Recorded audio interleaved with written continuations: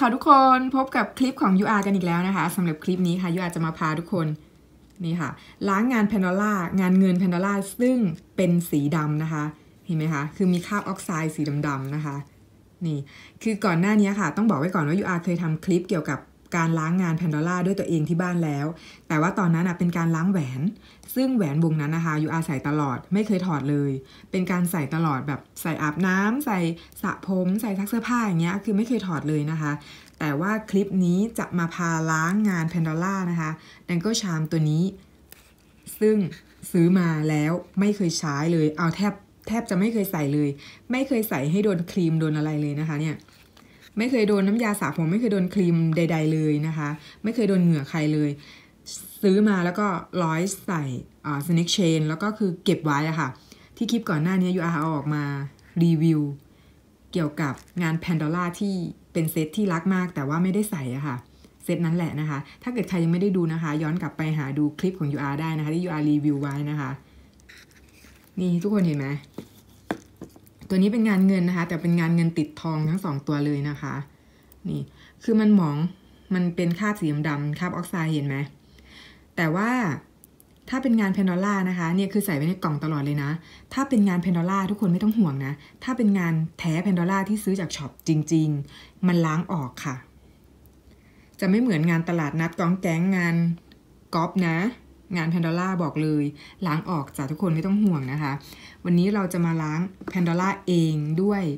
อุปกรณ์ที่มีในบ้านไม่ต้องไปถึงช็อปค่ะ ปกติถ้าถ้าเกิดเราไปที่ช็อปเขาล้างให้ฟรีเหมือนกันค่ะ ที่ช็อป Pandora ล้างฟรีเหมือนกันแต่ว่าไม่อยากเสียเวลาไปที่ช็อปนะคะ เพราะว่าช่วงสถานการณ์โควิดด้วย ถ้าเราไปที่ช็อปเราก็ต้องทิ้งไว้ที่ช็อปแล้วค่อยเดินกลับมาเอาอีกนะคะ กว่าพนักงานเขาจะล้างเสร็จเนาะ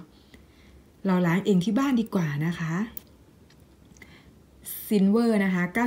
92.5 นี่นะคะ เราจะมาล้างกันเลยนะคะ ทุกคนนี่นะคะ นี่คือหมองมากเลยนะดูดิ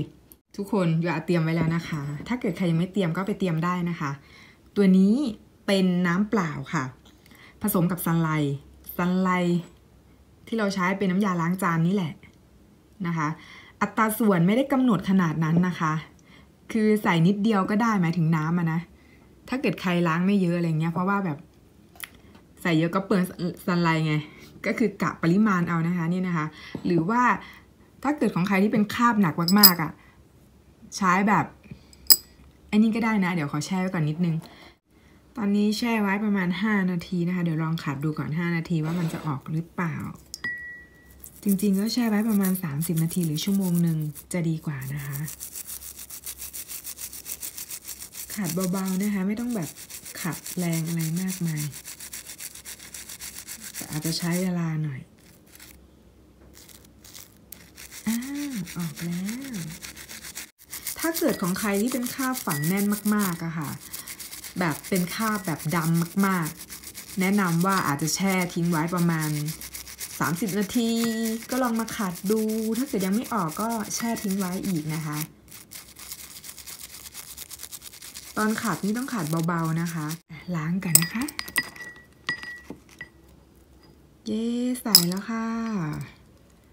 วิ่งวิ่งวิ่งแล้ว นี่ ใส่แล้วค่ะ ทุกคนเห็นไหมมันสามารถที่จะล้างออกง่าย ๆมากเลย โดยใช้อุปกรณ์สไลด์ที่บ้าน ถือว่าเป็นการใช้เวลาว่างให้เป็นประโยชน์ด้วยนะคะ เรากลัวคลิปมันจะยาวเกินไปอะค่ะ เพื่อไม่เป็นการเสียเวลาเดี๋ยวเราจะ ขอหยุดกล้องแล้วแล้วเดี๋ยวเราจะมาบอกวิธีในการเช็ด แล้วก็บอกวิธีในการเก็บที่ถูกต้อง เพื่อไม่ให้เกิดคราบออกไซด์ คือลดการเกิดข้อเกิดคราบดำคราบออกไซด์ได้ดี เดี๋ยวจะมาบอกวิธีนะคะ ว่าแบบเก็บยังไงดีใส่อะไรดีนะคะ ตอนนี้เราทำการถูชิ้นงานเสร็จเรียบร้อยแล้วนะคะ เดี๋ยวเราจะเอาชิ้นงานนะคะ ไปล้างด้วยน้ำสะอาดแป๊บหนึ่งนะคะ เราก็ได้ทำการล้าง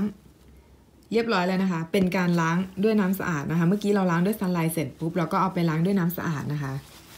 แล้วก็ให้ทุกคนนะคะเอาทิชชู่มาเช็ดนะคะ เช็ดด้วยทิชชู่ เช็ดใช้ทิชชู่เช็ดนะคะ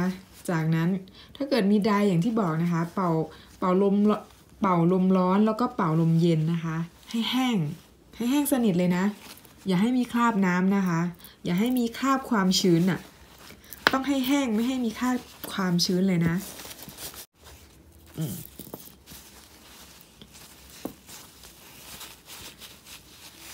แนะนำนะคะ ใครที่มีหลายชิ้นนะคะ มีเครื่องประดับหลายชิ้นเป็นเครื่องเงินนะคะ แนะนำว่าควรที่จะซื้อผ้าเช็ด ผ้าเช็ดเครื่องเงินนะคะ มาไว้ใช้เนาะ หลังจากที่เราเช็ดให้แห้งแล้วเนี่ย เราจะใช้ผ้า Silver Blue นะคะ ชื่อว่า Silver Blue นะคะ สามารถที่จะซื้อในอินเทอร์เน็ตได้เลยนะคะ แผ่นละแบบคือมันมีหลายไซส์ไง เราซื้อมา 80 บาทนะคะ นี่เดี๋ยวเราเอาให้ดู อันนี้คือแบบเราเช็ดมาหลายรอบแล้วไง นี่ มันก็จะแบบมีคราบดำนิดนึง นี่นะคะ เอาไป search ได้นะคะ อยู่ใน Shopee ค่ะ มี 80 บาทก็มี 90 บาทก็มีร้อยกว่าบาทก็มีแล้วแต่ขนาดค่ะ หลังจากที่มันแห้งสนิทแล้วก็เอา Silver Blue นะคะ เช็ด เช็ดไปเลยค่ะ ผ้าซิลเวอร์บูเนี่ยมันจะมีสารในการทำให้ชิ้นงานเงานะคะ คือซิลเวอร์บูนี่มันผืนใหญ่อยู่นะ ก็สามารถตัดเป็นแบบชิ้น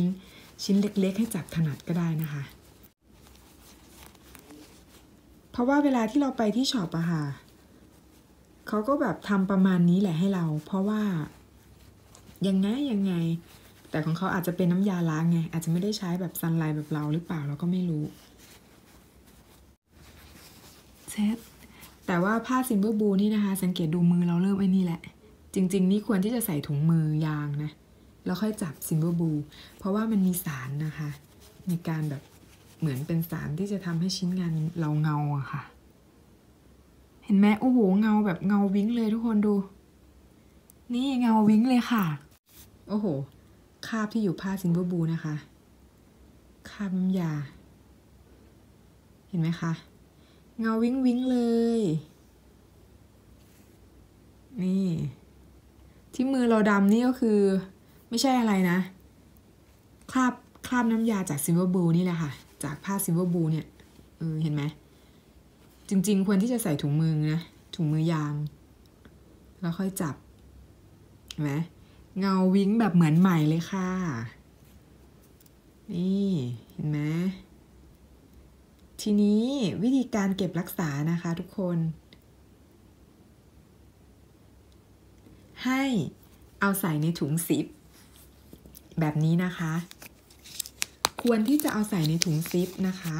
เพราะว่าเราไม่ต้องการให้มันโดนอากาศนะ อากาศอะจะทำให้ชิ้นงานของเรา ดำนะคะ ถึงแม้ว่าเราไม่ได้ใส่ ถึงแม้ว่าจะไม่ได้โดนคราบอะไรก็ตามคราบน้ำคราบเหงื่อใคร แต่อากาศก็ทำเป็นปฏิกิริยาทำให้ชิ้นงานเงินดำได้นะคะ เราก็ต้องเอาออกมาล้างอีกไง แต่ว่าวิธีการนี้ ข้อดีคือ ช่วยถนอมชิ้นงานนะคะทำให้ชิ้นงานมีโอกาสดำน้อย อาจจะดำบ้างนิดหน่อย แต่ยืดระยะเวลาขึ้นทำให้ดำน้อยลงนะคะ นี่เห็นไหมแค่นี้เราก็จะได้ชิ้นงานเงินของเรางานแพนดอร่าของเราเหมือนใหม่เหมือนตอนซื้อมาใหม่ ๆ เลยค่ะ นี่ แล้วก็เก็บใส่กล่องนะคะ แบบนี้ถ้าเราอยากให้มันอยู่ในกล่องเราก็แค่ เก็บใส่กล่องแบบนี้นะคะ ก็ปิดเรียบร้อยแล้วค่ะ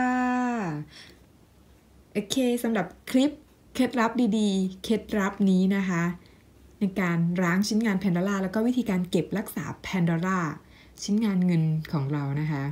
ให้มีแบบความสวยงาม ใสวิ้งเหมือนเดิมก็จบคลิปไว้แค่นี้นะคะสำหรับคลิปนี้เดี๋ยวเจอกัน คลิปหน้านะคะคลิปหน้ามีทริคอะไรอีก หรือมีแพนดอร่าตัวไหนมาอวดอีกนะคะ เดี๋ยวจะเอามารีวิวนะคะ อย่าลืมกด subscribe ไว้ให้ด้วยนะคะ บ๊ายบาย ไปแล้วค่ะ